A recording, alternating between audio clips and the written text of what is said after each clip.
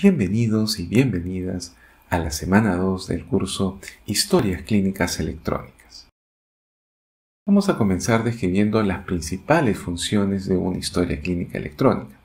En primer lugar, nos permite almacenar y recuperar la información y los datos sobre diferentes estados de salud del paciente, no solamente las alergias, los resultados de laboratorio, la medicación, etc. Nos va a permitir una mejor gestión de resultados.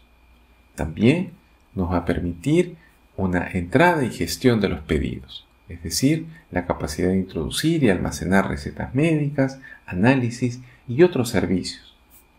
Nos permite, una de las funciones principales, es el apoyo para la toma de decisiones es decir, a través de diferentes recordatorios, mensajes, alertas y sistemas computarizados de apoyo para la toma de decisiones, nos va a permitir mejor práctica clínica y asegurar chequeos regulares y otras prácticas preventivas.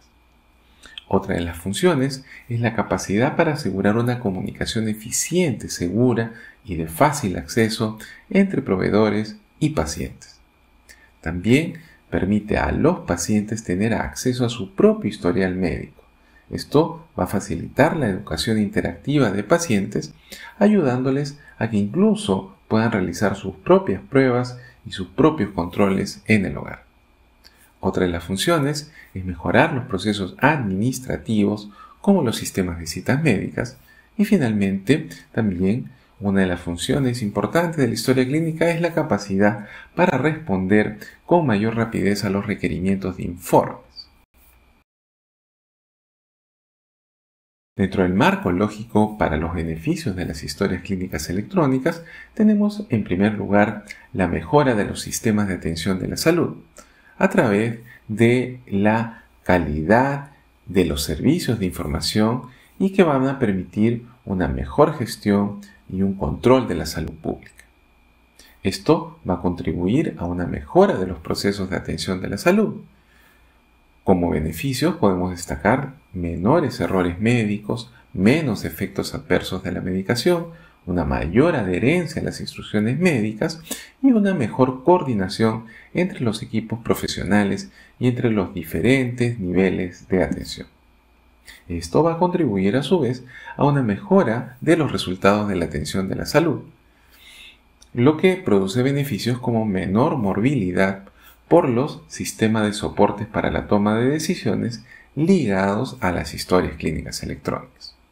Y finalmente, nos va a conllevar en beneficios de, basados en los análisis de rentabilidad, es decir, un ahorro de recursos tanto en tiempo, en dinero y en personal, y va a generar beneficios en términos de la mejora en la calidad, la eficiencia, la satisfacción y los resultados del paciente. Algunas de las recomendaciones importantes para implementar historias clínicas electrónicas es en primer lugar entender la situación actual. Para eso hay diferentes eh, instrumentos que nos permiten evaluar el nivel de madurez para la implementación de una historia clínica electrónica. Segundo, es importante adoptar una definición clara de una historia clínica electrónica.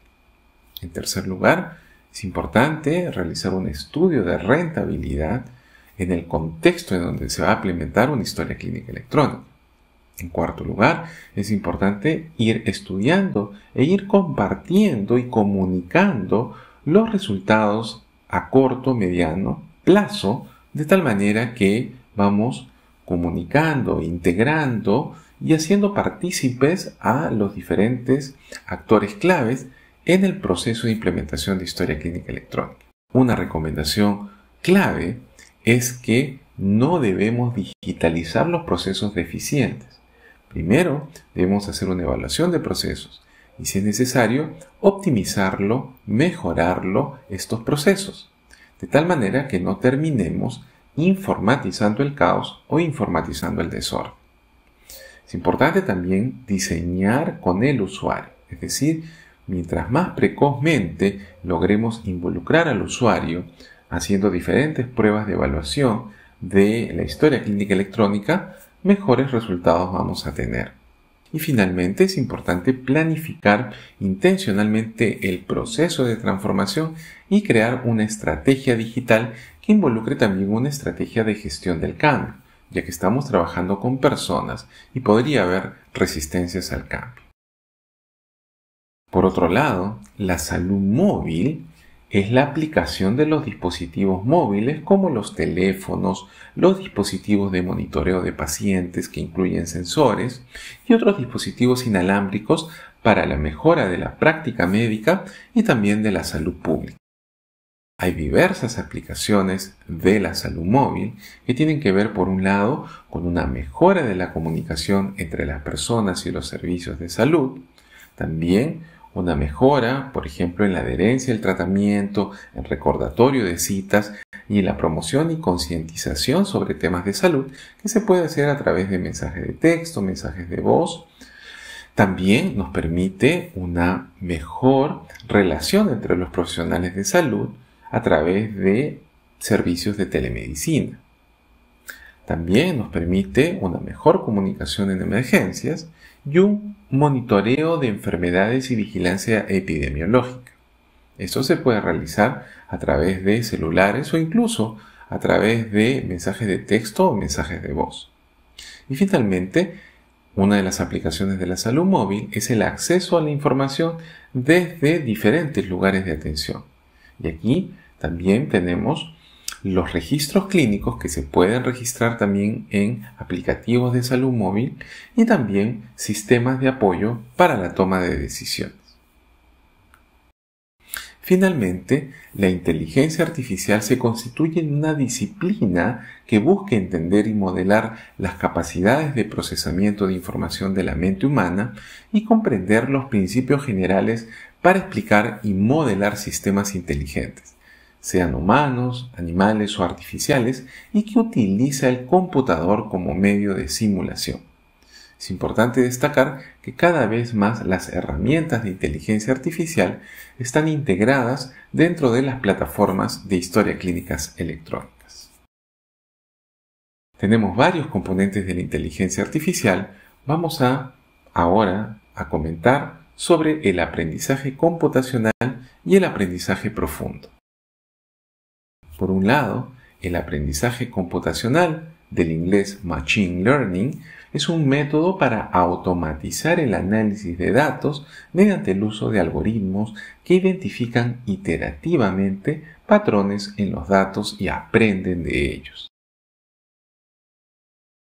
Por otro lado, el aprendizaje profundo, del inglés Deep Learning, utiliza diversas cadenas de redes neuronales que además de conformar estructuras complejas secuenciales o en diversas configuraciones, las configuran en roles diferentes. Un tipo de estas redes son las redes neuronales convolucionales, que son una clase de aprendizaje profundo que utiliza una red neuronal artificial para analizar diversas imágenes visuales. Este tipo de redes neuronales son muy efectivos en las tareas de reconocimiento y clasificación. Y las redes neuronales convolucionales se han convertido en la técnica preferida para analizar imágenes médicas. Como ejemplo de aplicación, vamos a compartir el proyecto eBrex, en el cual basado en un aplicativo instalado en un teléfono celular inteligente y tomando una foto a una placa de eh, radiográfica que podría ser un paciente sospechoso de tuberculosis. la foto analizada con diferentes algoritmos extrae y mapea las regiones que posiblemente sean sospechosas de patrones compatibles a una lesión de tuberculosis. Y basada en redes neuronales convolucionales, nos permiten clasificar automáticamente estas regiones y reconocer patrones anormales o manifestaciones sugerentes de tuberculosis. Vamos a evaluar lo aprendido hasta el momento. ¿Qué aplicaciones que combinen las historias clínicas electrónicas y la inteligencia artificial se pueden aplicar en el contexto de la pandemia por el COVID-19? Las historias clínicas electrónicas, cuando se implementan correctamente, mejoran la integridad, la seguridad y el acceso en tiempo real a la información, así como la calidad y la eficiencia de la atención. Los principales retos para la implementación de la historia clínica electrónica son principalmente financieros y técnicos, por ejemplo, la falta de infraestructura, la falta de equipos, falta de conectividad y normas para la interoperabilidad. Sin embargo, una implementación exitosa de historias clínicas electrónicas también depende de las personas. Y también la inteligencia artificial puede abordar de manera eficiente esta falta de expertos y la afluencia de datos complejos que se pueden generar por aplicativos de salud móvil o por servicios de telemedicina, así como modalidades avanzadas de obtención de imágenes. Muchas gracias por su atención.